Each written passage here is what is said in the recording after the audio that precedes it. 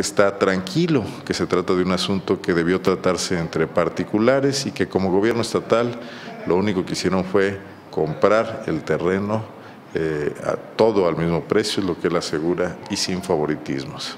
En esta entrevista realizada ayer sábado, ayer, ayer jueves, perdón, cuando se conoció la primera entrega de esta investigación periodística, Márquez aseguró que una vez concluido el proceso de compra podría ser pública la información detallada de las inversiones, de cómo se llevó a cabo esta compra de terrenos que por el momento se encuentra reservada, no es posible llegar a ella por los mecanismos de acceso a la información pública y de transparencia.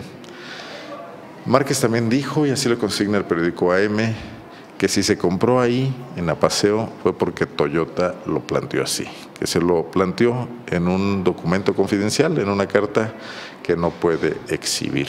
Pero bueno, por lo pronto ya lo dijo, faltando de alguna manera esa confidencialidad. Ayer Miguel Márquez argumentaba de esta manera. Saben, eh, la información la hemos hecho pública de otras negociaciones. Igual esta, una vez que concluya, ¿sí?